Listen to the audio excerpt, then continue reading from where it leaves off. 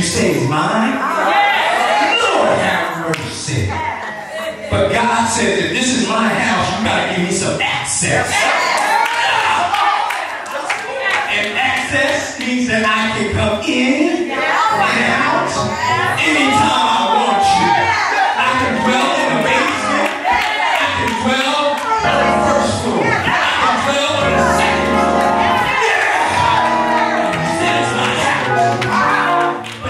many people are building churches, buildings in vain.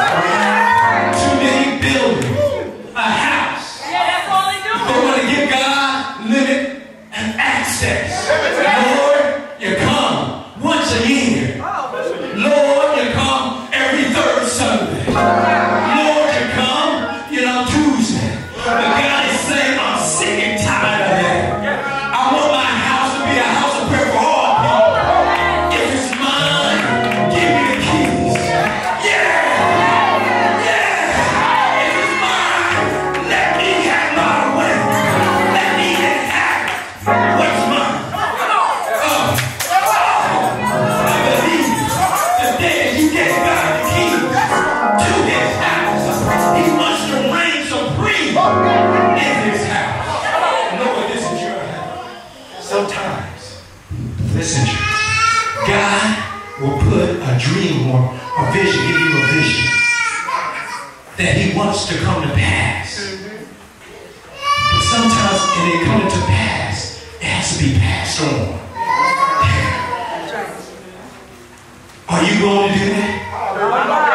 If I can't build it, they going to be done. Lord have mercy. I get, got an idea for, for Bishop Martineau and Prophetess Martineau, but unless they make me uh, the head of the youth department, I'm going to hold it. All right. Listen to me. But sometimes God will give you birth for you and give you a vision, give you a dream that He sometimes wants you to, to write it down. And sometimes He wants you to pass it on. And sometimes He wants you to be quiet. Shut up. Yes. But this was a case where He wanted to pass it on. Pass it on. Pass it on. And so this so, you know, it's mine. Unless I, you know, when I become the, the, the bishop, when I become the head overseer, when I become the pastor, then I'm going to uh, let, let my vision come forth. But God is saying, if you got a vision, you got a dream, it's for the church, and you know, pass it on. I will lead and I will guide you.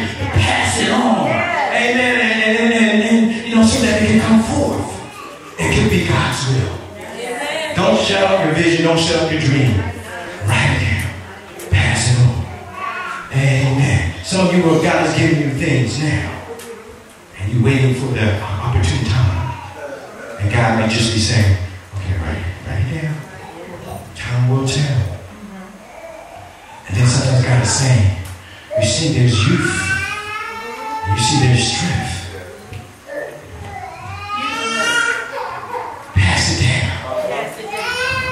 down so that God's will can